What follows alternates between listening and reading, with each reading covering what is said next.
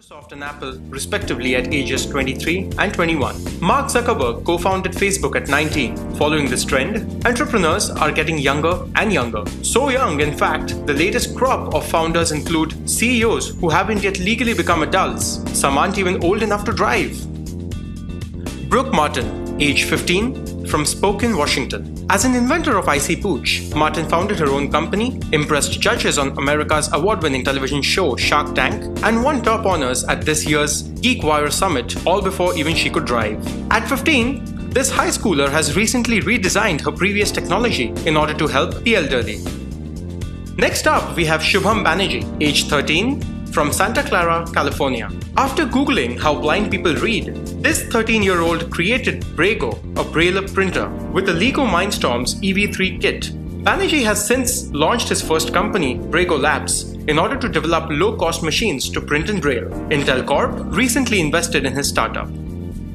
Jordan Casey, age 15, from Waterford, Ireland. Before he was a professional mobile app developer, Casey taught himself how to program when he was 9 and started his own company when he was 12. Casey Games, an independent mobile game company, is one of the most successful in Ireland. In addition to mobile apps, Casey's third company, EventZ, an online event management and promotion site, was announced in November 2014. Next, we have Surush Godse, age 13, from Waterloo, Ontario.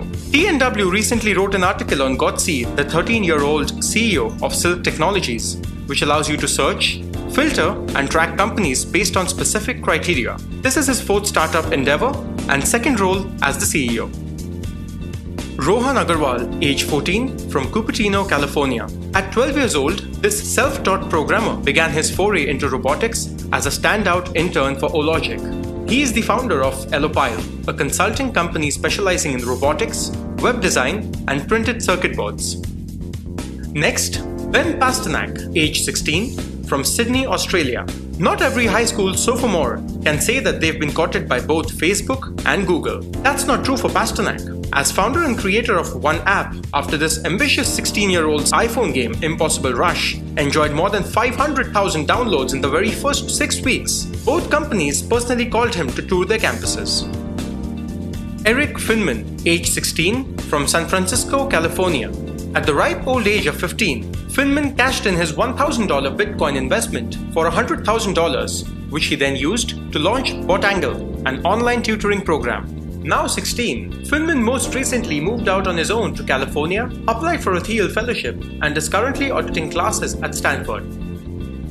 Matthews Mark, age 17, from Poland. Inspired by the world of hip hop, 17 year old Mark modeled his messaging app Five after custom hand signs similar to those used by rappers. Unknown to him, Five would turn the Apple Watch into a great communication tool for international sign language users, and Mark is currently working on adding an ISL dictionary to this app.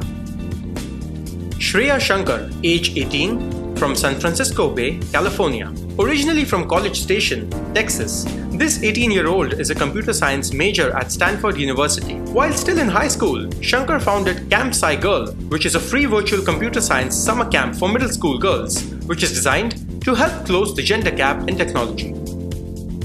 Next, we have Ming Hon, age 18, from Berkeley, California. Most entrepreneurs cringe at the thought of a pitch competition. At 18, Hon already had a competition win under her belt. The founder of Code Up, which is a four week web development class taught at Future Light Orphanage in Cambodia, is the 2014 NCWIT Aspirations in Computing National Runner Up.